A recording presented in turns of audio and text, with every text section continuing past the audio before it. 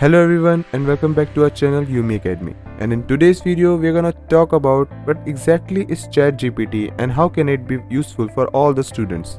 But before we start this video, make sure to subscribe our channel and turn on the notification bell icon for more latest updates. So let's get started. GPT-3 is a language model developed by OpenAI.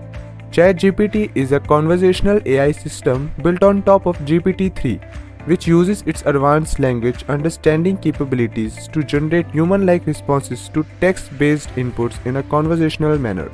ChatGPT can be useful for students in various ways including assistance with homework and research projects, answering questions and providing explanations, improving language skills through practice and interaction, providing summaries and information on various topics, and generating writing prompts and suggestions for creative writing projects. However, it's important to note that ChatGPT is not a substitute for a human teacher or tutor, and its responses should always be evaluated critically and compared with other sources before being used in an academic work. Now let's talk about how do you use ChatGPT.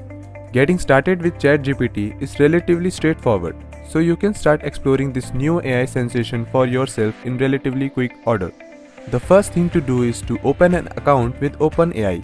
To do this, visit chat.openai.com and create an account using your email. You must establish an account to log in and communicate with ChatGPT. Once that done and you have confirmed your email address etc., you can access ChatGPT by signing up for an OpenAI account. After reading the terms and disclaimer from ChatGPT, log into your OpenAI account and select Next. From there, you will be granted access to the main event, the AI interface. From here, ask it anything and judge the validity and accuracy of its responses. However, remember that this system is still developing, so some responses may not be up to your standards. And finally, when properly applied, ChatGPT represents a revolution in the realm of AI driven technology and offers a wealth of benefits to students.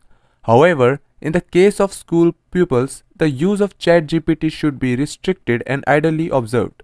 It is advised that college students and research scholars use it sparingly and carefully because it has a strong addictive potential.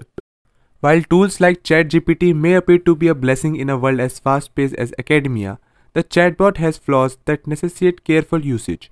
It shouldn't be used as a substitute for personal reflection, analysis, and other efforts that students must make sure to ensure meaningful learning. And that's it for today guys. I hope you understand now what ChatGPT really is. And thanks for watching our video again guys. Make sure to subscribe our channel and like this video and share it with the friends who you think really needs it. Thanks for watching again guys. Bye.